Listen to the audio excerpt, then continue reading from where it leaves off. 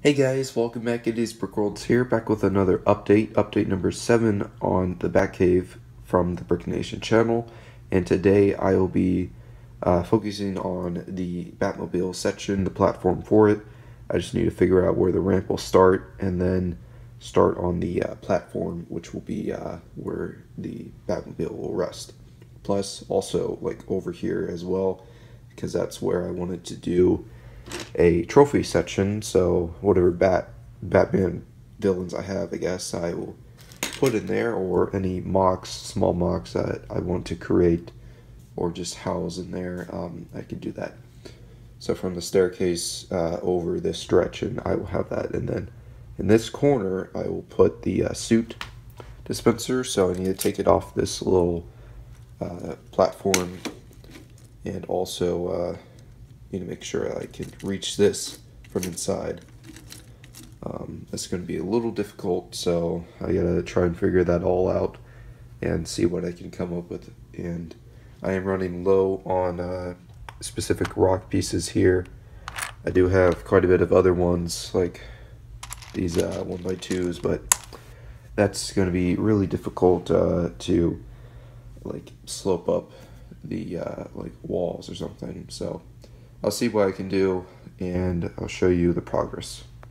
Alright guys, so I'm very sorry. I'm running a little bit behind. Uh, I'm filming this the day that it's supposed to be uploaded. So, um, I didn't get a whole lot done, but I, I got as much as I could possibly done in the few hours I had because I've been quite busy, so I haven't had a whole lot of time. So, uh, what we have done is like the ramp for the Batmobile and the uh, section that the Batmobile will be resting in. I just need to put some tiles around this to make it look a lot better and uh, make it stand out a little bit more. And then uh, some rock work here to fill in the gaps. And then this will be a rock wall coming up. But I do want to have a view of the ramp uh, so that I can have the Batmobile set up so that it can go up like that. And also secure the top. Uh, this side's the only part that's secure in the bottom. So let me show you what it looks like. That's the uh, setup, nothing uh, too fancy.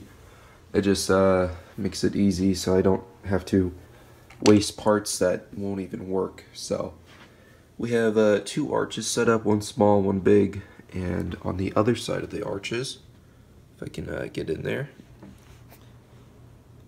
are suits for the bad guys.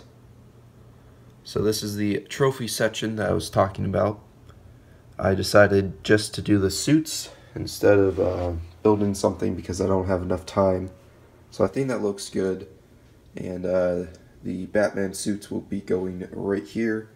I'm hoping that they will fit in this section as best as I can.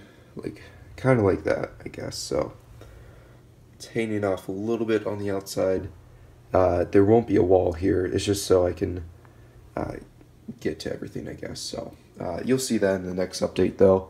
I'll be hopefully doing that here in a few minutes, and uh, you'll see it next Friday. So sorry about that, but that is it, guys. That's all I have to update you guys on today. So thank you all for watching.